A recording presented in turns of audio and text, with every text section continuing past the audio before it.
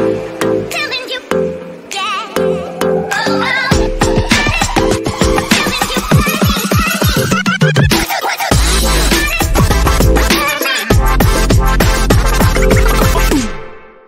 네, 안녕하세요 디시입니다. 오늘은 국가기술자격 캐드 실기 시험용 KS 기술 규격에 새로 추가된 구름 베어링용 로크너트 와셔 규격 적용 방법을 한번 알아보도록 하겠습니다. 로크너트는 실제 기계 실무 현장에서도 많이 사용되고 있는 기계 요소입니다. 국가 시험에서는 어쩌다 한 번씩 출제가 됩니다. 진짜 어쩌다 몇 년에 한 번?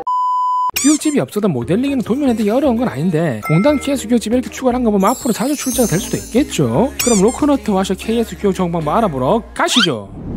현재 위에 보이시는 부품이 로크너트이고 아래쪽에 있는 부품이 로크너트 와셔입니다. 실무에서는 이제 크라운 와셔라고도 부릅니다. 그럼 이 로크너트의 사용 용도는 뭐냐? 로크너트는 축에 끼워 맞춤된 베어링의 이탈 방지와 고정을 하기 위한 용도로 사용하는 기계 요소입니다. 로크너트와 크라운 와셔는 이제 따로 사용하는 부품은 아니고 두 개가 한 세트라고 생각하시면 됩니다. 즉 이렇게 이제 커플이란 말이죠. 크리스마스도 다가오는데 커플 지옥 이런 축이 있으면 이 축이 이런 식으로 이제 부시가 결합되고 그 다음에 그 위에 이런 식으로 이제 베어링이 결합이 되겠죠. 그럼 이제 저 베어링이 회전할 거예요. 저런 식으로 되어 있으면 베어링이 회전하다 날아가 버리겠죠.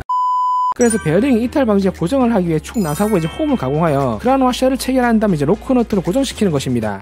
한 번씩 이제 저 홈을 키홈이랑 착각하고 이제 키용 규격을 적용하시는 분들이 있는데 그럼 큰일 납니다. 모양이 키홈이랑 동일한 이유는 이제 가공 방법이 똑같기 때문이죠. 축에 이제 홈을 가공할 때는 엔드밀로 가공을 하기 때문에 끝에 쪽은 저런 식으로 라운드가 생길 뿐이었고 이제 키홈이나 너트홈은 규격에 따라 이제 폭이나 깊이까지 좀 차이가 나겠죠. 그런데 왜 굳이 축에 홈을 파서 이제 와셔를 고정시키는지 궁금해하시는 학생분들이 있는데 자 여러분 생각을 해보세요. 만약에 축에 저 홈이 없고 이제 와셔에도 이렇게 고정핀이 없다. 그래도 이렇게 와셔를 결합하고 이제 너트로 체결해도 고정은 되겠죠. 그런데 이제 베어링이 있다는 말은 이제 회전한다 그 말이겠죠. 그러면 이제 고정 홈이 없으면 베어링도 돌아가면서 와셔도 같이 돌아갈 수 있기 때문에 너트가 풀릴 위험이 있습니다. 하지만 이제 이렇게 고정 홈이나 이제 와셔에 고정핀이 있으면 이제 이렇게 결합을 한 다음 베어링이 회전을 해도 와셔가 고정돼서 돌아가지 않기 때문에 너트가 풀릴 일이 없겠죠. 로크너트 자체가 이제 너트의 풀림을 막도록 개발된 너트이기 때문에 그렇습니다. 다들 이해하셨죠?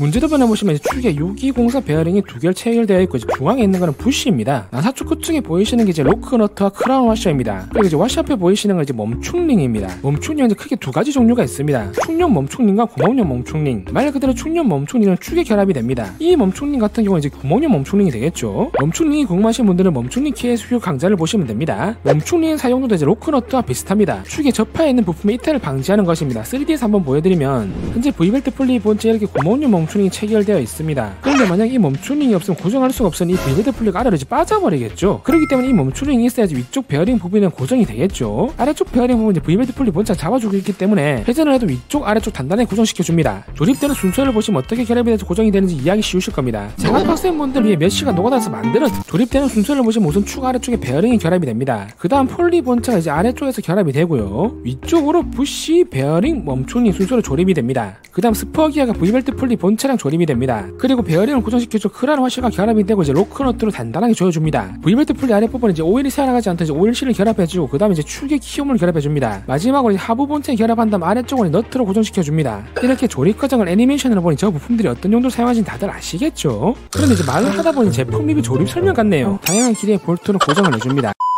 자 그럼 사용도 충분히 알았고 시험에서 출제되는 규격은 어떻게 적용하는지 한번 알아보도록 하겠습니다. 우선 문제되면서 중요한 것은 베어링 규격입니다. 로크너트 와셔 규격은 어차피 베어링 규격에서 정해집니다. 그럼 현재 베어링 규격이 6204입니다. 그럼 공단 KS 규격집 23번 깊은 홈 볼 베어링 호칭 번호 6204 규격을 보시면 안쪽 지름값이 20이고 바깥쪽 지름은 47입니다. 그럼 이제 우리가 필요한 건 축이 결합된 안쪽 지름이 20이겠죠? 이런 홈의 길이나 축의 길이는 규격 치수가 아니기 때문에 사람마다 1mm 정도 오차가 날 수도 있습니다. 하지만 축의 지름 치수인 20은 KS 규격 치수이기 때문에 100명 그리면 100명 전부 다 동일해야 합니다. 그럼 이제 축의 지름값을 알았으니 축에 결합된 로크너트 와셔 규격 치수를 적용해 보도록 하겠습니다. 공단 KS 규격집 51번 구름 베어링용 로크너트 와셔 규격에 보시면 우리가 적용시켜야 할 호칭 번호는 AW04X가 되는 것입니다. 그 이유는 지름값 20은 무조건 고정이라고 했죠. 그렇기 때문에 D3 지름값이 20인 AW04X 규격의 로크너트 와셔가 적용되어야 합니다.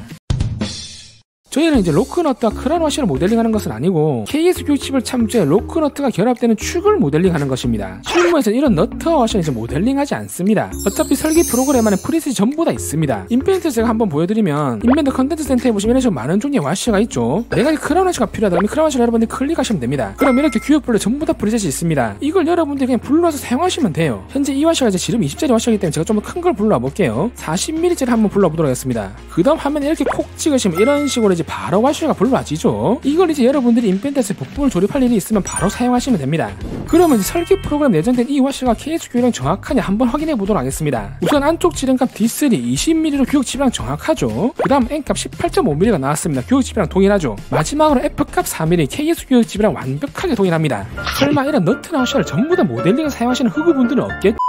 모델링은 진짜 간단합니다. 10초 컷이에요. 축의 중앙 평면을 잡아주신 다음 스케치를 눌러줍니다. 저한테 배우신 분들이 이렇게 wireframe을 변경하신다는 거 아니면 여러분들이 F7번 누르면 이런 식으로 단면 표시가 됩니다. 위쪽 형상 투영 눌러주신 다음에 절단 모서리 투영 눌러줍니다. 그 다음 이 끝점에 이런 식으로 사각형한개 그려줍니다. 치수를 뽑아주시고 이 홈의 치수는 12mm였죠. 12mm 입력해줍니다. 이건 규격 치수가 아니기 때문에 사람마다 조금의 오차는 있을 수가 있습니다. 그 다음 맨 아래쪽 선과 위쪽 선 이런 식으로 찍어주시고 이제 이건 N값이었죠. N값은 18.5mm였습니다. 이 치수는 100명 그리면 100명 전부 다 동일해야 합니다. 스케치 마무리하신 다음에 돌출 눌러줍니다. profile 선택해주신 방향은 대칭 눌러줍니다. 그 다음 이 거리 값은 F1 값이었죠. 3mm 입력해주신 다음에 차집합 선택해주고 확인 눌러주시면 됩니다. 그 다음 키홈이랑 동일하게 끝에는 라운드 처리를 이제 폭만큼 해줍니다. 폭값이 4mm니까 2mm씩 해주시면 되겠죠. 쭉 끝에 쪽은 조립용 모따기 1mm를 해주시면 끝! 자 이렇게 하면 로크너트 와셔 모델링이 완성되었습니다. 모델링 방법은 키홈이랑 똑같기 때문에 엄청 쉽죠? 그럼 마지막으로 답안 도면에는 어떻게 기입을 해야 하나? 우선 축지름 20은 베어링이 결합되기 때문에 H6 헐거운 끼워 맞춤 공차를 넣어줍니다. 그 다음 홈의 길이는 치수만 뽑아주시면 되고 공차를 안 주셔도 됩니다. 키홈 같은 경우는 저렇게 공차를 주는 이유는 키움이 좀 홈에 결합이 돼야 되는데 저 전체 길이가 22보다 작으면 키움이 결합이 안 되겠죠. 그렇기 때문에 22보다는 작으면 안 되고 22보다는 0.2 정도까지는 커도 된다 그 말입니다. 그런데 로크너트 와셔 홈 같은 경우는 이제 와셔를 체결하기 위한 경로 같은 느낌이라 굳이 저 길이 치수에 공차가 필요가 없는 겁니다. 그 다음 F1 값인 4mm에는 0.1에서 0.2까지 공차를 기입해주고 라운드 쪽은 반지름 참조 치수를 기입해주시면 됩니다. F1 값에서 공차를 주는 이유는 저기 이제 와셔에 고정핀이 조립이 되죠. 근데 폭이 4mm보다 작으면 고정핀이 결합될 수가 없겠죠. 그래서 저 폭값이 4mm보다 0.1에서 0.2까지는 커도 된다는 공차를 기입해준 것입니다. 그리고 일반 공차는 설계자 판단해주는 것이기 때문에 딱 정해진 값은 없습니다. 그 다음 이제 M값인 1.85에는 마이너스 0.1 공차를 주는 이유는 3D에서 보기를 하죠. 자 우선 축에 이런 식으로 로크너트 와시가 결합이 됩니다. 그런데 만약에 홈의 깊이가 높으면 와시가 축에 들어갈 수가 없겠죠. 억지로 놓다가 이 고정핀이 휘어지거나 부러질 수도 그래서 저 M값이 18.5보다 크면 안 되고 18.5보다 0.1까지는 작아도 상관없다는 그 말입니다. 다들 이해하셨죠? 새로 추가된 규격이라 어려울 줄 알았는데 알고 보니 별거 없죠?